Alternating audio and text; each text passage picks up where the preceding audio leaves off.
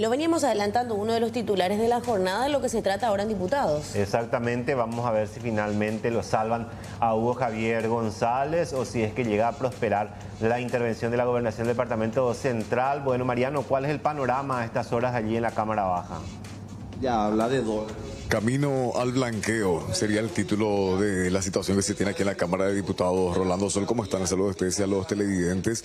Y es que habría el pacto, ya el pacto habría sido logrado principalmente entre referentes del Partido Colorado, ambos bloques, el bloque de Honor Colorado y también el bloque de Colorado Añetete. También se habla de que algunos opositores, por ejemplo, podrían abstenerse al momento de la votación. ¿Qué significa abstenerse, Rolando Sol? Una especie de lavarse las manos, no tomar partido no ir hacia un lado ni hacia el otro, y entonces de esa forma terminarían también eh, apoyando lo que tiene que ver con la gestión de Hugo Javier González al frente de la gobernación. Le explican aquí que lo que guarda relación con lo judicial, la investigación que lleva adelante el Ministerio Público, eso corre por su cuenta y es otro, otra instancia. Sin embargo, aquí eh, a nivel político, aparentemente, y en palabras de la diputada Katia González, estarían respaldando la corrupción. Y decía la diputada por Encuentro Nacional que no se trata solo de defender a Hugo Javier González, sino que los que voten en contra de la intervención están a favor de ese sistema que permite robar, que permite, que permite dilapidar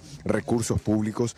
Y mencionaba ella el contexto de pandemia que se ha tenido en los últimos meses, que fue aprovechado justamente por los cercanos y los ejecutores de la gobernación del departamento central. Ahora está hablando el diputado Derlis Maidana pero no quiero dejar pasar algo muy particular también que se daba. Aquí en la Cámara de Diputados se había creado una comisión especial para investigar los hechos en la gobernación, los hechos denunciados como por ejemplo eh, obras fantasmas supuestas, eh, se hablaba de 14 obras que eh, no habían sido ejecutadas como tal o se habían hecho a media simplemente, también el desembolso de fondos a estas fundaciones, el uso de facturas falsas. Y sobre eso habló Ángel Paniagua, que es el presidente de esta comisión especial. Sol, Rolando, el diputado Colorado, por cierto, dijo que nunca antes había escuchado tantas mentiras que vio biblioratos y biblioratos de denuncias, muchos documentos, muchos escritos, pero que ellos fueron, recorrieron y encontraron todas las obras, encontraron todo en orden. Decía el diputado Ángel Paniagua, eh, salimos a buscar fantasmas, pero no encontramos nada, es lo que decía. Ahora nuevamente habla la diputada Rocío Vallejo, de Patria Querida.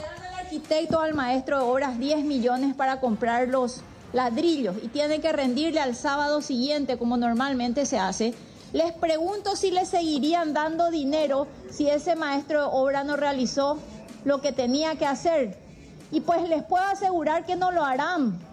¿Por qué debería ser diferente con una institución pública que, que está poniendo en duda la utilización de 43 mil millones de guaraníes y no es de Hugo Javier, es del pueblo paraguayo ese dinero. Así que cualquier mala gestión administrativa, aunque no exista por parte de la Contraloría una denuncia penal, es atendible y es motivo de intervención.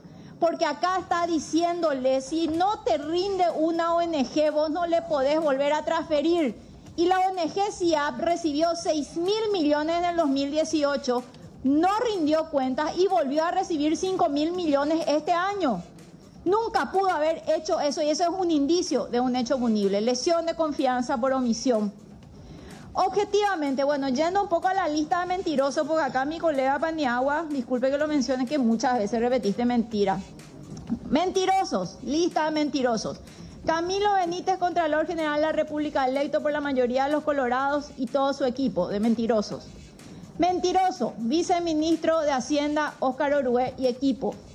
Mentirosos, René Fernández, secretario ministro de Anticorrupción y equipo. Mentirosos, Luis Cardoso y equipo, Auditoría General del Poder Ejecutivo. Concejales, denunciantes mentirosos. Fiscales y equipos mentirosos. Y por supuesto, nosotros los diputados mentirosos. ¿Qué muchos mentirosos, querido Paniagua? Lo que no entiendo es dónde está la mentira. O todos nos pusimos de acuerdo para mentir. Acá no hay mentiras, acá hay hechos objetivos, datos corroborables y nada de lo que puedan decir. Y claro que las obras fantasma existen, eso es lo que yo dije hace rato. Las obras están, se pagaron dos veces según el supuesto de hecho investigado por el Ministerio Público. Algo que no hay que dejar de mencionar, y me olvidé hace rato, es la mirada a los derechos humanos a partir de la afectación del recurso público, de los recursos públicos. Acá se tocan recursos públicos, pero directamente se afectan derechos humanos que no son atendidos por estas desviaciones de dinero. En Central, Departamento Central fue el departamento que más muertes tuvo por COVID.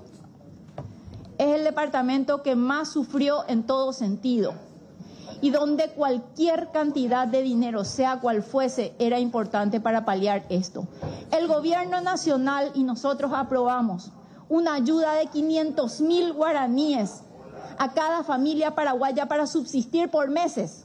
Sin embargo, en la gobernación de Central se estaban desviando miles de millones en nombre de la pandemia, señores. Traduzcan los un millón de dólares, dividido 500 mil, ¿cuántas familias serían beneficiadas? ¿Cuántas vidas a lo mejor? Porque a lo mejor hay familias que ni siquiera comieron y murieron de hambre. Así que no dejar de dar esa mirada solo patrimonial. Acá se afectaron derechos humanos por el mal uso de los recursos. Así que eh, quería nomás aclarar, porque tanto nos trataron de mentirosos y de falta de objetividad, que en realidad eso no es así. Muchas gracias. Muchas gracias, diputada. Diputada Katia González, tiene uso de palabra. Sí, presidente y colegas. Yo puedo ser muchas cosas. Medio loca, medio disruptora, mi voz puede ser un poco estridente. Muchas cosas puedo ser. Según el relatorio del informe final de las transferencias de la gobernación del Departamento Central a entidades sin fines de lucro, en el ejercicio fiscal 2019 presentado por la Contraloría General de la República, en el grupo 800 de transferencia Leo. Conforme al cuadro se observa que el 69,60% del presupuesto ejecutado corresponde al rubro 800. Yo no miento, Derlis. No sé qué presupuesto vos mirás pero la verdad verdadera es que el rubro 800 de transferencias de lo presupuestado que ascendía en el año 2019 a 95 mil millones de guaraníes, se ha ejecutado y obligado 89 mil millones de guaraníes. Esa cifra no la inventé, esa cifra está en los papeles que en la que obran en el legajo. La verdad es que de esta manera se usó el presupuesto de la gobernación del Departamento Central. Y eso también nos debe llamar la atención, colegas, porque no tiene ningún Y eso también nos debe llamar la atención, colegas, porque no tiene ningún sentido tener una gobernación para que el 70% o el 69,6 para ser exacta y no mentir en ningún dígito se transfiera a organizaciones no gubernamentales. Gran parte de ese dinero desembolsado del presupuesto público fue a parar a dos o tres ONG, que teniendo otra función misional, y esto pone mucho énfasis la Contraloría, porque mucho recorrido y mucho caminata por central, pero cuando pedimos que podamos escuchar a la Subsecretaría de Estado de Tributación a la Contraloría General de la República y al, a la CENAC, la comisión se negó, porque obviamente, selectivamente, en mayoría, iban caminando y siendo excelentes alumnos de Lalo Villalba, porque han repetido exactamente igual eh, argumento, centrándose exclusivamente en una falacia que habla de que las obras existen. En realidad, y esto es para la ciudadanía más que para nosotros, ¿verdad? Yo voy a poner un solo ejemplo. La denuncia de los concejales departamentales consistían, por ejemplo, en el municipio de Villa Elisa, que es mi municipio, en una transferencia de 244 millones de guaraníes a una escuela llamada Bocayatú. Sin embargo, en el tour del blanqueo lo que se visita es un empedrado en el barrio Picada. ¿Entienden? Ellos armaron un tour que no tiene nada que ver con las denuncias. En Itagua se denuncia la transferencia de 744 millones de guaraníes a la Escuela Niño Salvador del Mundo y en realidad no se realiza la visita a ese lugar. Visitaron obras que no estaban en el circuito de denuncia de los concejales departamentales y eso tiene que quedar claro para alguien. Yo no les quiero convencer a ustedes, yo tampoco les quiero ganar a ustedes. Les doy hasta que me ganen. Pero de lo que no podemos eh, es de la realidad.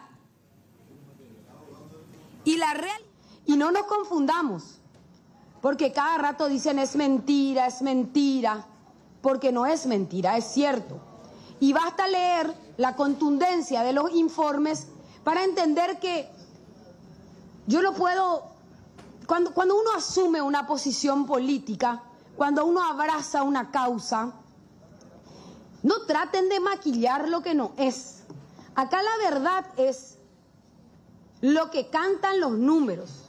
Acá la verdad es Contundente. Parte de lo que explica lo la de la diputada Katia, González, quien continúa la hablando. Si las facturas son falsas, pero es perito para ir a recorrer la... Mariano. Bueno, Lo que enseguida está diciendo la diputada Katia González nada más, eh, haciendo justamente referencia al tema de las verdades, lo que había dicho Ángel Paniagua.